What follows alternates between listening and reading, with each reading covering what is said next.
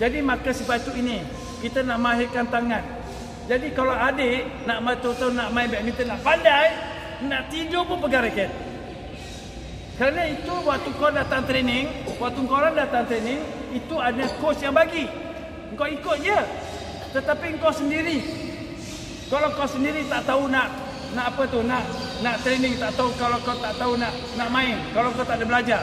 Maka selepas ini, apa yang kau orang kena buat ialah suruh bapa kau cari coach, ajar belajar. Bukan senang ni budak-budak besar ni kesian lah tengok aduh. Ha, ni besar-besar ni. Ajar tadi saya dah tunjuk buat drill. Waktu drill smash tadi. Mula-mula kecil tiba-tiba jadi besar-besar-besar. Itu dia. Maka kita akan dapat bertahun. Okey, korang dapat buku kan? Itu buku tu adalah buku yang sangat penting. Kerana itu buku saya tulis sendiri kerana saya sedekahkan ke korang supaya korang tahu badminton tu macam mana. Dan korang sudah tahu bahawa pukulan bawah ada berapa? Nombor satu. Nombor dua. Nombor tiga. Nombor empat. Nombor lima. Nombor enam. Nombor tujuh. Ini pukulan bawah. Iaitu pukulan bawah ada bawah servis. Ada tujuh jenis.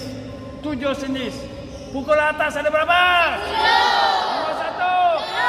Nombor dua. Nombor tiga. Nombor empat. Nombor lima. Nombor enam. Nombor tujuh. Nombor lapan. Nombor sembilan. Nombor sepuluh. Bukan ke ajaib hanya training separuh hari saja satu hari ni korang dah hafal. Ingat ni baik-baik maka itu dinamakan pelajaran itu dinamakan kem bakat. Bahawa kem bakat ialah untuk mencari bakat-bakat yang semula jadi yang kita nak gilap dia. Untuk cari pemain dunia yang nombor satu yang nombor empat. Dan sekarang kita sudah ada pemain dunia champion dunia. Untuk double single belum ada lagi Ha, ini ingat baik-baik ya.